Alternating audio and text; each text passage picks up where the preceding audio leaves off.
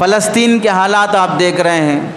नमाज़ में हैं जालिम, दरिंदे। नमाज़ में आकर उन्हें हटा रहे हैं, उन्हें नमाज़ तोड़कर मार रहे हैं, गोलियाँ चला रहे हैं, ज़ख्मी कर रहे हैं। जान जा रही है, मस्जिद में आने नहीं दिया जा रहा है, गेट बंद कर दे रहे हैं। ये सब काम करने के बावजूद भी उन फ़लस्तीनियों को सलाम है कि वो लोग सड़क पर खड़े होकर नमाज़ अदा करेंगे, लेकिन नमाज़ नहीं छोड़ेंगे।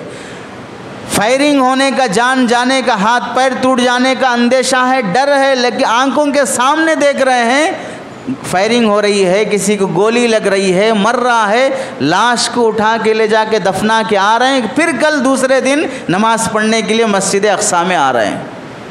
कैसे जज्बे हैं उनके।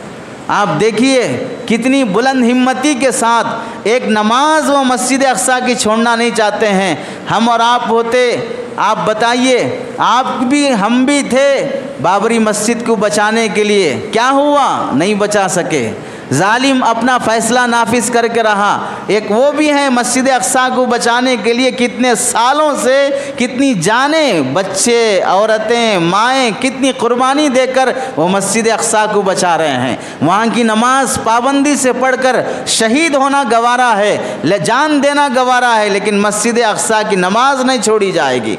पाबंदी लगेगी तो हम सड़क पर पढ़ेंगे, गेट पर पढ़ेंगे।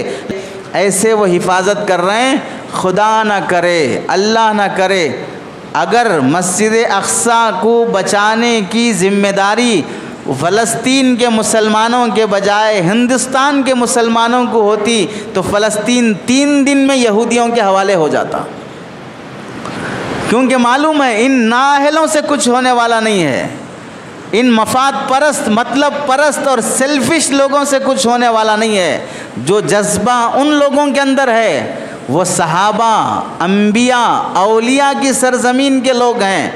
मुल्क शाम हज़रत इब्राहीम सलाम के बाद से लेकर हज़रत ईसा सलाम तक जितने नबी आए हैं, तकरीबन अम्बिया का जो शहर था, वो मुल्क शाम और फ़लस्तीन था।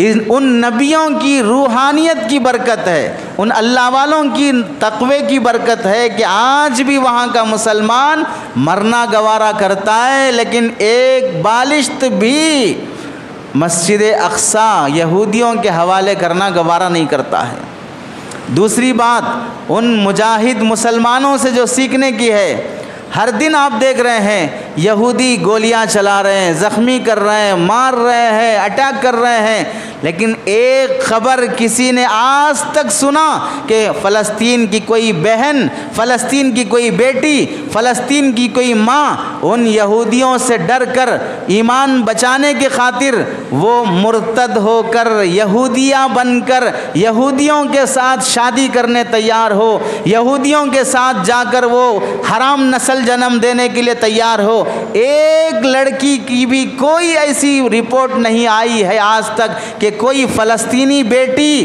किसी गैर मुस्लिम, किसी यहूदी के साथ जाना उसने गवारा किया हो। लेकिन अफसोस, आज हमारे यहाँ की मुसलमान बेटियाँ, कॉलेज पढ़ने वाली, यूनिवर्सिटी जाने वाली, स्कूल पढ़ने वाली चंद पैसों की खातिर मेकअप बक्स की खातिर, वो स्कूल और एग्ज़ाम फ़ीस की खातिर, अपने गैर मुस्लिम, यहूदी हो, हिंदू हो आरएसएस का हो, किसी भी ख़ानदान का हो, घटिया हो, सड़ी हुई ज़ात का हो, सड़े हुए चेहरे का हो, काला कलोटा हो, भद्दा हो, लेकिन प्यार हो गया, इश्क में मुबतला हो गए, अंधे बन गए, बेहया बन गए, अपने जिस्म का सौदा करने तैयार हो गए, अपने को उनके हवाले करने तैयार हो गए। एक एक नहीं दो दो लड़कों के साथ ताल्लुकात तीन तीन लड़कों के साथ ताल्लुकात। ईमान का सौदा भी आसान, जिस्म का सौदा भी आसान, अपने ख़ानदान की इज़्ज़त नीलाम करना भी आसान। ये सब कहाँ? कौन मजबूर कर रहा है? कौन बंदूक की नाल कनपट्टी पे रखकर जान लेने की धमकी दे रहा है? अपने ख्वाहिश नफ्स अपनी शहवत पूरी करने की खातिर आज हमारी बेटियों में जो ईमान की कमज़ोरी और ईमान की अहमियत जो ख़त्म होती जा रही है, हम ये कह सकते हैं, हमारी वो बच्चियाँ जो अपने ईमान का सौदा करके गैरों के हवाले हो रही हैं, फ़लस्तीन की बेटियों की जूतियों के धूल के बराबर भी नहीं हो सकती हैं।